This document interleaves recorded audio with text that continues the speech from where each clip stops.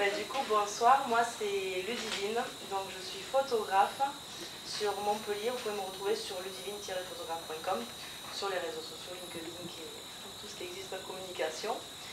Je photographie surtout les particuliers, mariage, grossesse, naissance, famille, et puis un petit peu les professionnels aussi.